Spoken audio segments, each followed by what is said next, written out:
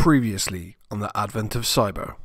As the elves are trying to recover, Elf Recon McRed is trying to figure out how it was compromised in the first place. Elf Recon McRed has already utilized Google Dorking, WHOIS look up have I been pwned? Gladly, no data breach was found. McRed searched various terms on GitHub. Luckily, one of the terms worked and he found the website's complete source code publicly available through OSINT. Name of the registrar is Namecheap. Straight at the top of that, there is a flag. We can see the password is Santa 2022.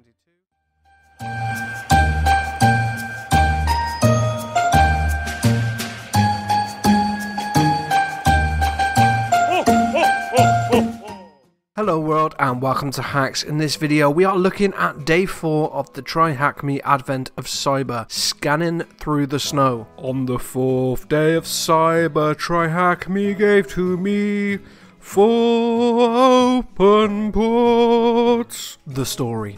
During the investigation of the downloaded GitHub repository via the OSINT task, Elf Recon McRed identified a URL, qa.santagift.shop, that was probably being used by all the Alfs with administrative privileges to add or delete GIFs on the Santa website. The website has been pulled down for maintenance and now Recon McRed is scanning the server to see how it's been compromised. Can we help McRed scan the network and find the reason for the website compromise? The learning objectives of this room are to find out what is scanning, different scanning types, different scanning techniques, and different scanning tools. So, the first section asks, what is scanning?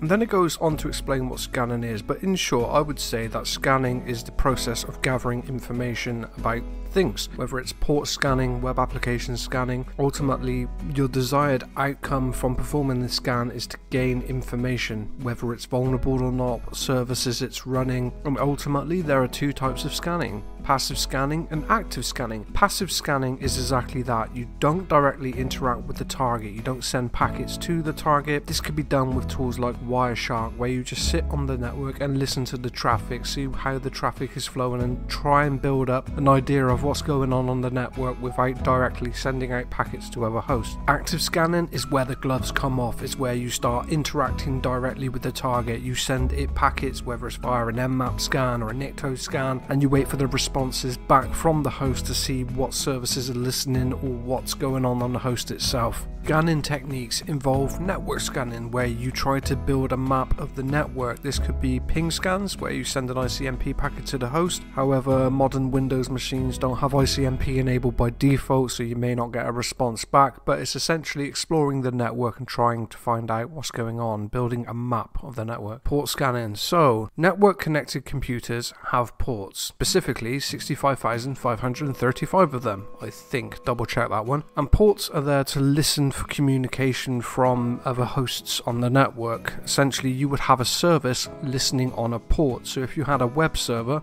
that would be listening typically on port 80 or 443. There are reserved ports and then there are ports that you can use for your own bespoke services. And the art of port scanning is using tools like Nmap to scan the open ports available on a system. Then once you get the results back from those ports, you know what services are listening and then as a hacker or a professional cybersecurity consultant, you can then look at those ports for vulnerabilities. You can identify versions and see what's going on. And that brings us nicely to vulnerability scanning, where you scan a system to identify vulnerabilities. And as they point out there, there are a number of tools like Nessus or OpenVAS which allow you to scan systems for vulnerabilities. And Nessus is very versatile and that allows you to scan a host without authenticating to it. You can scan a host by authenticating to it. It's one of the best vulnerability auditing tools that are currently available for testers. Scanning tools. So one of the most popular tools you'll come across, whether you're in technical support or whether you are a penetration tester, is Nmap, Network Mapper. And it's essentially that it is an extremely powerful tool, especially with the Lua scripting language that allows you to perform various types of scans against the target host. The scripting language even makes it a very viable and versatile penetration testing tool there are scripts available that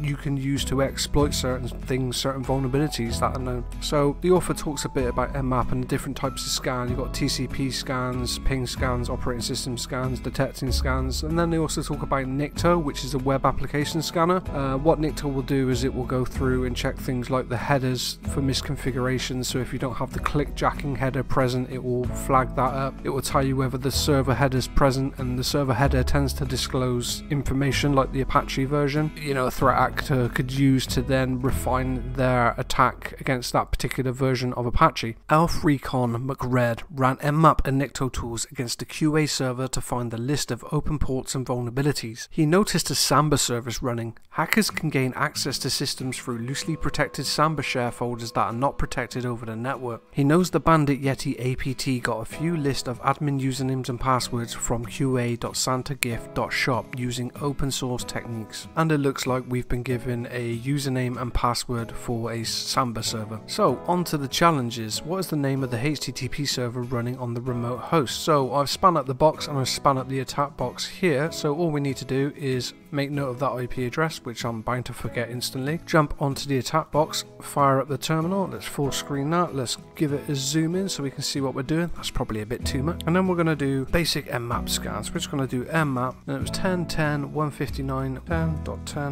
10.10.159.29. And then we're going to wait for that to come back, and you can see that we have four ports open. We've got SSH, which is the remote management protocol. Secure Shell, it allows you to log onto a system to perform administration tasks. We have a web server running on port 80, and then we have port 139 and 445. These ports are commonly associated with Microsoft's SMB server message block, but there is a Linux alternative called Samba, which runs on the same ports. Unfortunately, this basic scan doesn't give us enough information about the protocols in order for us to answer the first question. It asks what is the name of the server running on the remote host, and it's not HTTP, so we need to add a few flags to Nmap in order to get some more information out of it. So let's do nmap sv for version and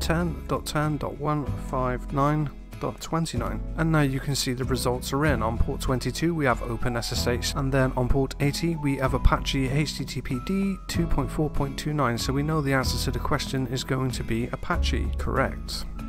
The next question asks, what is the name of the service running on port 22 of the QA server? Well, we know that already, it is just SSH. If we just come over here, type in SSH and click submit, we should get a whoop whoop. Now the next question asks, what flag can you find after successfully accessing the Samba service? So all we're going to do is going to head to our attack box and then we're going to go to places, we're going to find a home folder and then we're going to go to smb dot forward slash forward slash and I believe it was 10.10.159.29. Okie dokie, so can we go into admins? No, so now we need to authenticate. So I'm going to go on to registered user and I'm going to put in the credentials that we've been provided. So the username is Ubuntu. Uh, I'm not going to change the work group for now, but we may need to remove it. And the password is Santa with an at instead of an A, 22. So S, I wonder if it's going to be an American layout keyboard. No, it's UK, fantastic. And TA 2022.